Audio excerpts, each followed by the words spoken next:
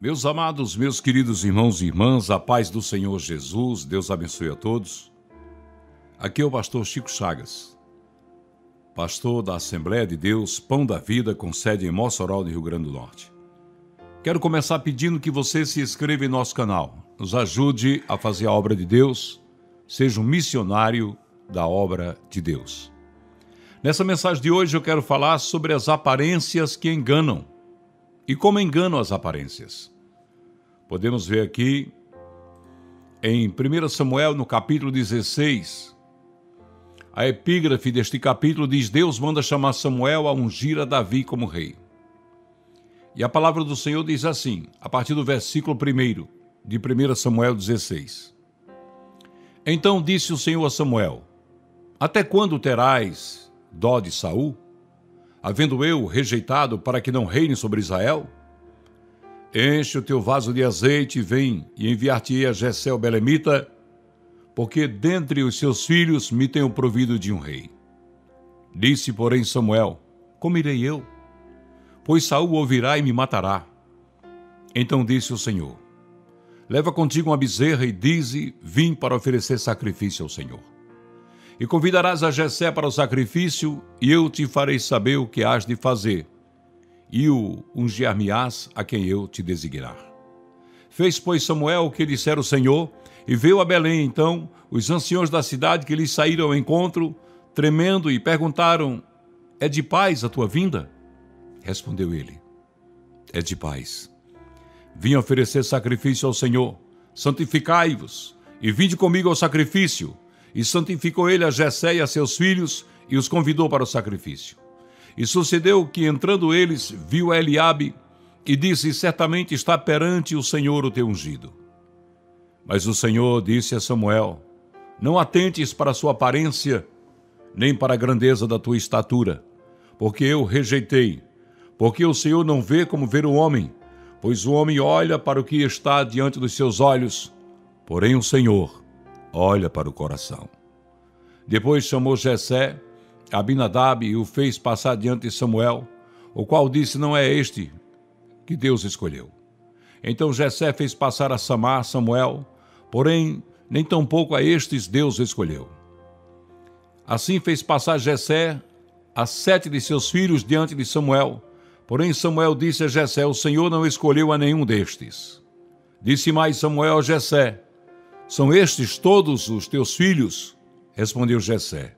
Ainda falta o menor, que está apacentando as ovelhas. Disse, pois, Samuel a Jessé: Manda trazê-lo, porquanto não nos sentaremos até que ele venha aqui. Jessé mandou buscá-lo e o fez entrar. Ora, ele era ruivo, de belos olhos, de gentil aspecto. Então disse o Senhor: Levanta-te e unge-o, porque este é mesmo que eu escolhi. Então Samuel tomou o vaso de azeite e ungiu no meio de seus irmãos. E naquele dia em diante, o Espírito do Senhor se apoderou de Davi. Depois Samuel se levantou e foi para Ramá. Oh, aleluia. As aparências enganam, amados. Às vezes Deus escolhe exatamente aquele que ninguém espera ser escolhido. Não é novidade para ninguém que as aparências podem nos enganar, Certa vez, um homem com roupas muito simples e calçando sandálias de borracha tipo havaianas, e carregando um saco de estopa nas mãos, como se fosse uma mala de viagem, entrou em uma agência de automóveis e caminhões no centro de Curitiba, aqui no Brasil. Dirigiu-se ao setor de veículos novos e perguntou a um dos vendedores qual era o preço de determinado caminhão que estava em exposição. O vendedor, achando que não havia nenhuma chance de vender aquele homem, querendo fazer uma brincadeira com um de seus colegas, apontou para outra mesa e disse: Fale ali com aquele jovem, ele vai dar o preço e lhe mostrar em detalhes o caminhão para o senhor. Ele dirigiu-se para outra mesa e foi atendido por aquele rapaz, que, mesmo não acreditando que faria uma venda, atendeu bem por pura misericórdia. Qual não foi a surpresa de todos os vendedores e o lamento daquele que não atendeu? Depois de alguns minutos de exame no caminhão, ao ouvirem o homem falar ao mesmo tempo, em que despejava sobre uma mesa um monte de dinheiro de dentro daquele saco de estopa que ele trazia nas mãos, dizendo: Vou pagar à vista, vou levar este caminhão. As aparências são mesmo importantes para nós e não devemos julgar as pessoas pelas aparências. Foi feito um teste em uma estação de metrô nos Estados Unidos para que fosse verificada a importância que as pessoas dão à aparência. Um certo homem se apresentava aos outros usuários do metrô, vestido normalmente, e pedia-lhes dinheiro para a passagem, dizendo que havia esquecido a sua carteira em casa. Depois de um certo período, ele contabilizou o dinheiro que havia arrecadado e mudou em pouco a estratégia. Apenas acrescentou ao seu vestuário uma gravata. Com uma nova aparência, conseguiu arrecadar, em um período igual ao anterior, quase o dobro do que havia arrecadado anteriormente. Era mesmo homem, dizendo que tinha a mesma necessidade, só por causa de uma gravata, poderia arrecadar muito mais. As aparências podem enganar até os servos de Deus. Pode inclusive enganar servos de Deus enganou o pobre Samuel, que era sacerdote, juiz e profeta. Ao ver Eliabe, ele achou que Eliabe era o homem escolhido por Deus.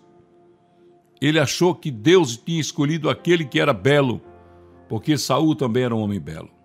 Mas Saul Deus já tinha rejeitado. Deus preferiu a Davi, o pastorzinho de ovelhas, desprezado por todos. Deus mandou chamá-lo de trás das malhadas e deu a ele exatamente o trono de Israel, o cargo mais importante da nação israelita. Você sabe o que é isso? É porque Deus usa o fraco para confundir o forte, usa as coisas loucas deste mundo para confundir as sábias. Nós vivemos em um mundo de aparências. Vivemos em um mundo em que as pessoas julgam as pessoas pelo que veste, menosprezam as que se vestem mal, e às vezes não percebem que aquelas que se vestem mal tem mais comunhão com Deus do que aquelas que se vestem bem. Não é a sua roupa que vai definir quem você é perante Deus, é o seu coração. A palavra de Deus nos diz, no Salmo 51, um coração quebrantado e contrito Deus não desprezará. Muitas vezes queremos amizade com quem se veste bem, queremos estar perto de quem se veste bem, quando na verdade precisávamos estar perto de quem mais tem comunhão com Deus de quem pode clamar e interceder por nós e as suas orações serem ouvidas nos céus.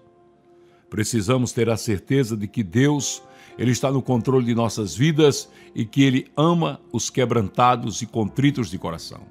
Não julgue as pessoas pelo que elas possuem, pelo que elas podem lhe dar.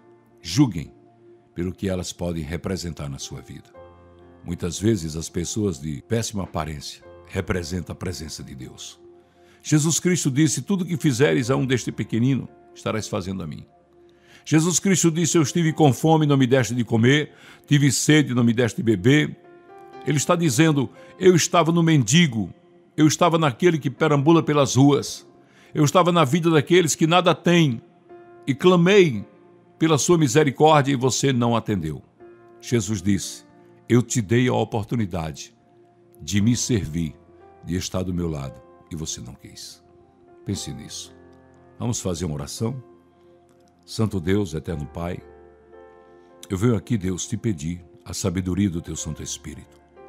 Pedi, meu Deus, que o teu Santo Espírito esteja nos guiar, a nos mostrar, Pai, os caminhos a serem seguidos, Deus. Nós não sabemos, Pai. Não temos condição nenhuma, Senhor, de discernir as coisas.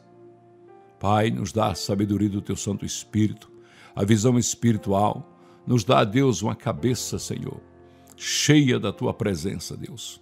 Tira de nós as preocupações, tira de nós os costumes deste mundo, tira de nós aquilo que prejudica a nossa união contigo, Senhor, e nos dá, Pai querido, Deus amado, a paz que excede todo entendimento, para que o teu nome possa ser glorificado em nossas vidas. Nos dá, Deus, um coração igual ao teu, um coração que não olha para a aparência, um coração que não vê, Deus, o exterior e sim o interior. Nos mostra, Pai, a vida de cada um segundo a tua soberana e santa vontade. Abençoa todas as famílias.